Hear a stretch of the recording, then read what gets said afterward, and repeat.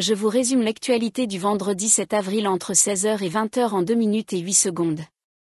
Qui a tué la campeuse suisse Silja Trindley sur une plage de Gironde en août 2000 Le journaliste Edoui Plenel accuse la réalisatrice Maïwen Lebesco de violence dans un restaurant. Jeux Paris 2024, dans les secrets de la sécurité d'une cérémonie d'ouverture hors norme sur la scène. Acte de torture à Villeneuve-Saint-Georges, aux Assises, un enquêteur détaille le calvaire de Viorel. Argenteuil, l'influenceur Rop, tortionnaire du Chiot Texas, condamné à un an de prison sous bracelet. Deux membres du Raid Martinique racontent leur engagement, il faut être solide dans la tête.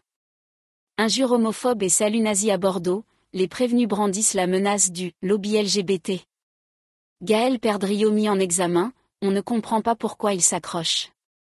La décision du maire de Saint-Étienne, mis en examen ce jeudi, de ne pas démissionner suscite le malaise dans l'opposition municipale et chez les fonctionnaires de la ville.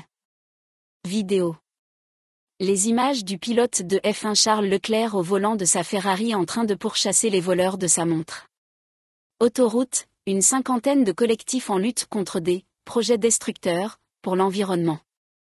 Réunis en collectif, des écologistes se battent contre la construction de nouvelles routes, dénonçant le tout-voiture et une bétonisation jugée absurde à quelques années de la fin des moteurs thermiques. Dans une école désaffectée parisienne aux côtés de mineurs sans papier. Reportage.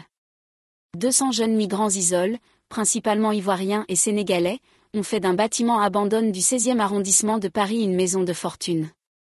Mali, un journaliste porté disparu depuis une conférence de presse à Bamako. Le journaliste Aliou Tour, présentateur d'une émission sur une radio malienne, est porte disparu depuis le jeudi 6 avril. Borne défend son alignement avec le président, le jugement de 14 personnes requis pour l'assassinat de Samuel Paty, Macron frileux sur l'Ukraine face à Xi Jinping. L'actu de ce vendredi 7 avril. L'essentiel de l'actualité de ce vendredi 7 avril. Pour ne rien manquer de l'actualité quotidienne, abonnez-vous à ma chaîne.